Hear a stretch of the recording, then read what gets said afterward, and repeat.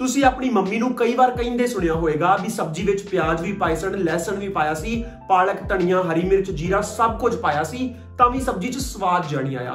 ਤੀਜਾ ਪੰਜਾਬ ਫਿਲਮ ਨਾਲ ਵੀ ਕੁਝ ਅਜਿਹਾ ਹੀ ਹੋਇਆ। ਫਿਲਮ ਵਿੱਚ ਇੱਕ ਵੱਖਰੀ ਕਹਾਣੀ ਵੀ ਸੀ, ਚੰਗਾ ਡਾਇਰੈਕਟਰ ਵੀ ਸੀ, ਮਜੇ ਹੋਏ, ਅਦਾਕਾਰ ਵੀ ਸਨ, ਪਰ ਤਾਂ ਵੀ ਫਿਲਮ ਵਿੱਚ ਉਹ ਫੀਲ ਜੀ ਨਹੀਂ ਆਈ। ਮਿੱਠਾ ਚਾਚਾ ਠੱਗੀ ਠੋਰੀ ਦੇ ਨਾਲ ਭਗਤੇ ਦੀ 10 ਕਿੱਲੇ ਜ਼ਮੀਨ ਤੇ ਕਬਜ਼ਾ ਕਰ ਲੈਂਦਾ ਹੈ। ਭਗਤੇ ਦੀ ਬੇਗਮ ਮੋਨੀ ਜੋ ਕਿ ਪਹਿਲਾਂ ਹੀ ਆਪਣੇ ਸ਼ਰਾਬੀ ਸ਼ੌਹਰ ਦੇ ਲੱਛਣਾਂ ਕਰਕੇ ਕਲਪਦੀ ਰਹਿੰਦੀ ਹੈ, ਜ਼ਮੀਨ ਵਾਲੀ ਗੱਲ ਸੁਣ ਕੇ ਉਹਨੂੰ ਹਮੇਸ਼ਾ ਲਈ ਟਾਟਾ ਬਾਏ ਬਾਏ ਕਰਕੇ ਪੇਕਿਆਂ ਨੂੰ ਤੁਰ ਪੈਂਦੀ ਹੈ। ਹੁਣ ਭਗਤੇ ਨੇ ਆਪਣੀ ਜ਼ਮੀਨ ਵੀ ਵਾਪਸ ਲੈਣੀ ਹੈ, ਮਿੱਠੇ ਚਾਚੇ ਨਾਲ ਦੋ ਦੋ ਹੱਥ ਵੀ ਕਰਨੇ ਨੇ ਤੇ ਮੋਨੀ ਦੀ ਘਰ ਵਾਪਸੀ ਵੀ ਕਰਾਣੀ ਹੈ। ਇਹ ਸਭ ਸਿਆਪਾ ਤਾਂ ਪਿਆ ਹੀ ਸੀ, ਇਸ ਦੇ ਵਿੱਚ ਸਰਕਾਰ ਵੀ ਆਪਣੇ ਰੰਗ ਵਿਖਾ ਦਿੰਦੀ ਹੈ, ਕਾਲੇ ਕਾਨੂੰਨ ਲਿਆ ਕੇ। ਕਿਸਾਨਾਂ ਤੇ ਭਗਤੇ ਦੀ ਇਸੇ ਜਦੋਜਹਿਦ ਦਾ ਨਾਮ ਹੈ ਤੀਜਾ ਪੰਜਾਬ। ਜਿਹੜੀ ਜ਼ਮੀਨ ਨਾਲ ਮੈਂ ਵਿਆਹ ਕੇ ਆਈ ਹਾਂ ਨਾ, ਜੋ ਚੋਂ ਇੱਕ ਕਿੱਲਾ ਵੀ ਇੱਧਰ ਉੱਧਰ ਹੋਇਆ ਨਾ, ਮੈਂ ਆਪਣਾ ਜਵਾਕ ਲੈ ਕੇ ਨਹਿਰ 'ਚ ਛਾਲ ਮਾਰ ਦੇਣੀ। ਪੂਰਾ 1 ਸਾਲ ਹੋ ਗਿਆ ਪਰ ਕਈ ਲੋਕ ਹਜੇ ਵੀ ਇਹ ਗੱਲ ਸਮਝ ਨਹੀਂ ਪਾਏ ਵੀ ਕਿਸਾਨੀ ਬਿੱਲਾਂ ਵਿੱਚ ਆਖਿਰਕਾਰ ਦਿੱਕਤ ਕੀ ਸੀ। ਸੋ ਅੰਬਰਦੀਪ ਸਿੰਘ ਭਗਤੇ ਦੀ ਕਹਾਣੀ ਦਾ ਸਹਾਰਾ ਲੈ ਕੇ ਸਾਨੂੰ ਇਹੀ ਸਮਝਾਉਣ ਦੀ ਇੱਕ ਕੋਸ਼ਿਸ਼ ਕਰਦੇ ਨੇ ਐਂਡ ਉਹਨਾਂ ਦੇ ਇਸ ਕਦਮ ਲਈ ਉਹਨਾਂ ਨੂੰ 100 ਵਿੱਚੋਂ 100 ਨੰਬਰ, ਪਰ ਤੀਜਾ ਪੰਜਾਬ ਫਿਲਮ ਦੇ ਰਾਈਟਰ ਡਾਇਰੈਕਟਰ ਪ੍ਰੋਡਿਊਸਰ ਤੇ ਐਕਟਰ ਅੰਬਰਦੀਪ ਸਿੰਘ ਨੇ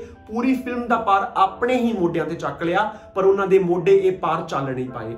ਲੌਂਗ ਲਾਚੀ ਫਿਲਮ ਵਿੱਚ ਅੰਬਰਦੀਪ ਸਿੰਘ ਦੀ ਅਦਾਕਾਰੀ ਵੇਖ ਕੇ ਮੈਂ ਉਹਨਾਂ ਦਾ ਕਾਇਲ ਹੋ ਗਿਆ ਸੀ, ਪਰ ਤੀਜਾ ਪੰਜਾਬ ਫਿਲਮ ਵਿੱਚ ਉਹ ਬੜੇ ਹੀ ਇਨਕਨਸਿਸਟੈਂਟ ਨਜ਼ਰ ਆ ਰਹੇ ਸਨ। ਫਿਲਮ ਦੇ ਕਈ ਸਾਰੇ ਸੀਨਸ ਵੇਖ ਕੇ ਮੈਨੂੰ ਐਵੇਂ ਲੱਗਿਆ ਵੀ ਉਹ ਬਸ ਆਪਣੀਆਂ ਲਾਈਨਸ ਡਿਲੀਵਰ ਕਰ ਰਹੇ ਸਨ ਐਂਡ ਉਹ ਲਾਈਨਸ ਵੀ ਇੰਨੀ ਸਪੀਡ ਨਾਲ ਕਿ ਅੱਧੇ ਕੇ ਡਾਇਲੌਗਸ ਤਾਂ ਸਮਝ ਹੀ ਨਹੀਂ ਆ ਰਹੇ ਸਨ। ਹਜੇ ਤੁਸੀਂ ਪਹਿਲਾ ਡਾਇਲੌਗ ਪ੍ਰੋਸੈਸ ਕਰ ਰਹੇ ਹੁੰਦੇ ਹੋ, ਇੰਨੀ ਦੇਰ ਤੱਕ ਦੋ ਅਗਲੇ ਡਾਇਲੌਗਸ ਲੰਘ ਜਾਂਦੇ ਨੇ। ਕੁਝ ਵੀ ਫੀਲ ਨਹੀਂ ਹੁੰਦਾ। ਉਹਨਾਂ ਕੋਲ ਪੰਚ ਤਾਂ ਬਹੁਤ ਸਨ, ਪਰ ਉਹਨਾਂ ਚੋਂ ਜ਼ਿਆਦਾਤਰ ਪੰਚ ਲੈਂਡ ਹੀ ਨਹੀਂ ਹੁੰਦੇ। ਸਿਰ ਉੱਤੋਂ ਲੰਘਣ ਫਲਾਈ ਕਰਕੇ ਉੱਚੀਆਂ ਨੇ ਗੱਲਾਂ ਤੇ ਰਿਆਰਦੀਆਂ ਬਸ ਉਹੀ ਵਾਲੀ ਗੱਲ ਹੁੰਦੀ ਹੈ। ਠਹਿਰਾਵ ਨਹੀਂ ਸੀ ਉਹਨਾਂ ਦੀ ਅਦਾਕਾਰੀ ਵਿੱਚ। ਤੀਜਾ ਪੰਜਾਬ ਫਿਲਮ ਦਾ ਫਸਟ ਹਾਫ ਕਾਫੀ ਹੱਦ ਤੱਕ ਵਾਚੇਬਲ ਸੀ ਐਂਡ ਇਹ ਉਮੀਦ ਵੀ ਦੇ ਕੇ ਜਾਂਦਾ ਹੈ ਵੀ ਜਦੋਂ ਕਹਾਣੀ ਧਰਨੇ ਵੱਲ ਜਾਏਗੀ, ਮਾਹੌਲ ਦੇ ਨਾਲ ਨਾਲ ਇਹ ਫਿਲਮ ਵੀ ਹੋਰ ਗਰਮ ਹੋ ਜਾਏਗੀ, ਪਰ ਉਮੀਦ ਤੋਂ ਪਰੇ ਇਹ ਫਿਲਮ ਉੱਥੇ ਜਾ ਕੇ ਕਾਫੀ ਠੰਡੀ ਹੋ ਜਾਂਦੀ ਹੈ। ਆਪਾਂ ਧਰਨੇ ਦਾ ਮਾਹੌਲ ਤਾਂ ਹੂਬਹੂ ਕ੍ਰੀਏਟ ਕਰਤਾ, ਪਰ ਉਸ ਮਾਹੌਲ ਨੂੰ ਸਹੀ ਤਰੀਕੇ ਨਾਲ ਆਪਣੀ ਕਹਾਣੀ ਵਿੱਚ ਫਿੱਟ ਨਹੀਂ ਕਰ ਪਾਏ।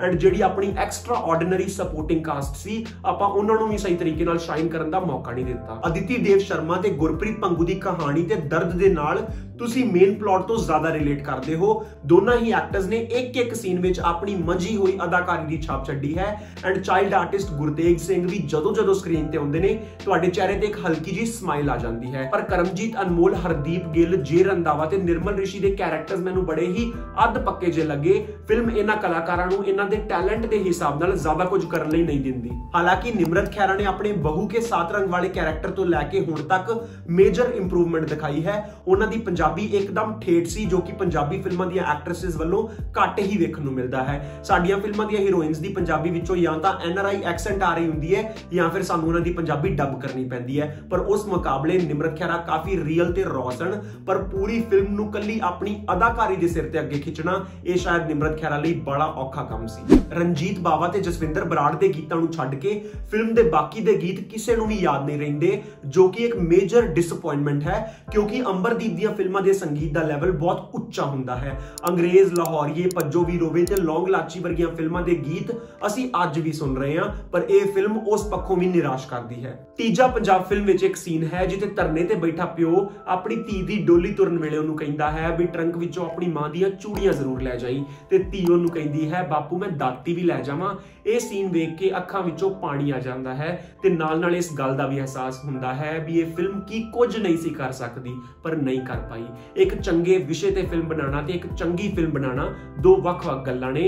ਅੰਬਰਦੀਪ ਸਿੰਘ ਨੇ ਇੱਕ ਚੰਗੇ ਵਿਸ਼ੇ ਤੇ ਫਿਲਮ ਤਾਂ ਜ਼ਰੂਰ ਬਣਾਈ ਹੈ, ਪਰ ਕੀ ਇਹ ਇੱਕ ਚੰਗੀ ਫਿਲਮ ਹੈ? ਇਹ ਕਹਿਣਾ ਥੋੜਾ ਜਿਹਾ ਔਖਾ ਹੋ ਜਾਏਗਾ। ਤੀਜਾ ਪੰਜਾਬ ਫਿਲਮ ਵੇਖ ਕੇ ਮੈਨੂੰ ਉਸ ਲੇਸ ਦੇ ਪੈਕੇਟ ਦੀ ਯਾਦ ਆ ਗਈ, ਜਿਸ ਨੂੰ ਪਹਿਲੀ ਵਾਰ ਵੇਖ ਕੇ ਤੇ ਮਨ ਬੜਾ ਖੁਸ਼ ਹੁੰਦਾ ਹੈ, ਪਰ ਪੈਕੇਟ ਖੋਲ ਕੇ ਪਤਾ ਚੱਲਦਾ ਹੈ, ਵੀ ਇਸ ਵਿੱਚ ਚਿਪਸ ਘੱਟ ਤੇ ਹਵਾ ਜ਼ਿਆਦਾ ਸੀ। ਉਹ ਲੇਸ ਦਾ ਪੈਕੇਟ ਤੇ ਤੀਜਾ ਪੰਜਾਬ ਫਿਲਮ ਵੇਖ ਕੇ ਇਹ ਹੀ ਕਹਿਣ ਨੂੰ ਜੀ ਕਰਦਾ ਹੈ ਇਹ ਦਿਲ ਮੰਗੇ ਮੋਰ। ਫਿਲਮ ਚੰਗੀ ਹੋਵੇ ਜਾਂ ਮਾੜੀ ਹੋਵੇ, ਵੇਖਣ ਜ਼ਰੂਰ ਜਾਣਾ ਵਾ, ਤਾਂ ਕਿ ਜੇ ਫਿਲਮ ਮਾੜੀ ਨਿਕਲੇ ਤੇ ਤੁਹਾਨੂੰ ਉਸ ਫਿਲਮ ਤੋਂ ਬਚਾਇਆ ਜਾ ਸਕੇ। ਇਹ ਸੁਣ ਕੇ ਤੇ ਸਬਸਕ੍ਰਾਈਬ ਦਾ ਬਟਨ ਆਪੇ ਦੱਬਿਆ ਜਾਣਾ ਚਾਹੀਦਾ ਹੈ।